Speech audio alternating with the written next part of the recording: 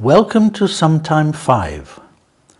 Today we're working with page 4 and the lesson is called Perimeter and Area. First of all, we need to talk about the word surface. The top of a table is a surface. A wall is a surface. The floor and ceiling of a room are two different surfaces. A box may have six surfaces, a top and a bottom, and four sides. The size of a surface is called its area. Area is the size of a surface, what a surface covers. Look at this square. All four sides are an inch long. So if you add up the length of all the sides, you get 4 times 1 inches, or 4 inches. But this does not tell you how big the area of the square is. It only tells you how far it would be if you walked all the way round it. This is the perimeter. The perimeter is the distance round the outside of the square. Now look at this rectangle. If we want to find the length of the perimeter, we must add the length of each side.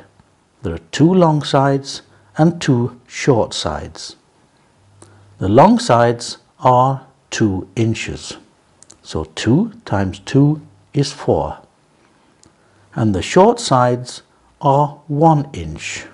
1 and 1 equals 2. So the distance round the perimeter is 4 plus 2, 6 inches.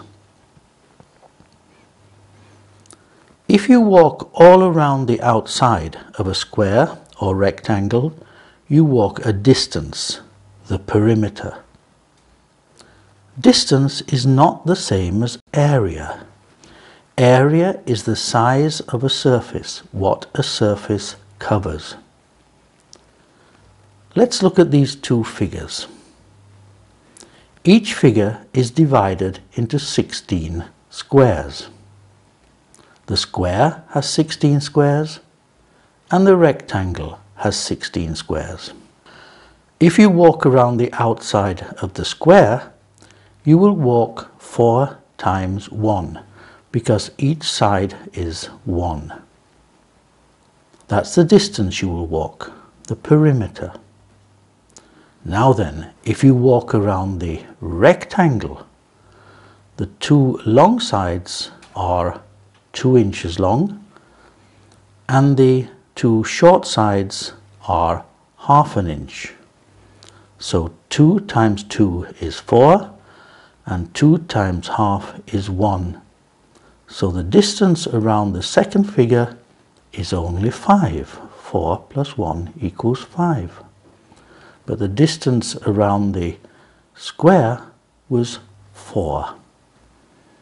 The distance around the two figures is not the same, but the area is. Let's prove that. Count the number of squares in each one. There are 16 squares in each one. So the area the space the two figures cover is the same.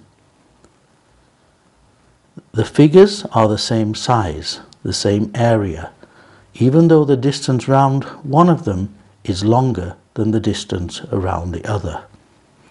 So now I hope you understand the difference between distance around a figure, that's the perimeter, and the area that figure covers.